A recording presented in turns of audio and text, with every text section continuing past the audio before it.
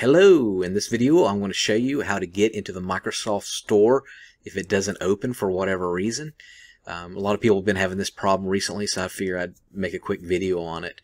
So what we're going to do is we're going to start from the easiest and then work our way down but I'm pretty confident that I can get you uh, into the Microsoft Store, you know, being that it doesn't open. So the first one is the obvious one. Make sure you have internet connection. So go to a different website and make sure you're able to log on. If not, then it's not the store. It's it's just you don't have internet connection. That's the first one. Second one is make sure you're on the right browser. So if you usually use the store on Google Chrome, make sure you're on Google Chrome. Um, if you use Hotmail, make sure you're logged into Hotmail. So for example, I use Firefox for my Microsoft Store and Hotmail. So I'm, I make sure that I'm on that browser. Third, you want to do a, uh, an update on Windows. And to do that, what you're going to do is on the very, very bottom here, on on your Windows 10 desktop or 11 or whatever you have, click on the Microsoft logo down here where it's Start. So you're hitting the Start menu, and then what you want to do is you want to go to Settings, which is this little gear shift here. Okay, and then what you're going to do is click on Update and Security.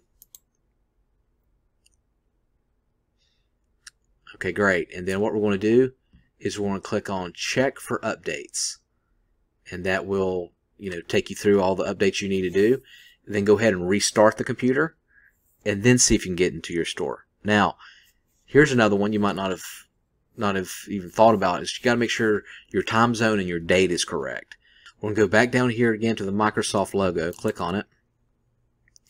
Click on settings again. And then we're going to go to time and language and from right here, you'll make sure the time zone's correct. So right now I'm on the eastern coast. So you make sure that's correct. And then also too, you want to make sure to set the time automatically. Make sure that that's on. And you can check, you can make this on too to make sure that the time zone is correct as well. Um, so that will, that may be the issue of why you can't get into the store. So go ahead and, and, and shut it down, close your browser, then reopen it. And it should just look on the very bottom right of your screen and make sure that the time is correct again. Alright, now, last but not least, you want to reset the store under Run on your computer. So to do that, you just go into Run, and to do that, what you want to do is you want to hold down on your keyboard, you want to hold down the Microsoft key on the bottom left, and you're going to hit R as in Ralph. R, and then I already have it typed here.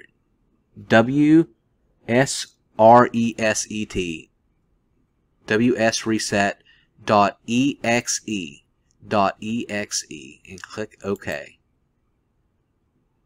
And so what that's going to do is force your Microsoft Store to open. And looky here. Look what just opened for me on my other screen. It, so it automatically opened. So make sure you give it actually a minute because it, it's running and it'll take usually a minute for it to open. Alrighty, I hope that worked for you and make sure you subscribe.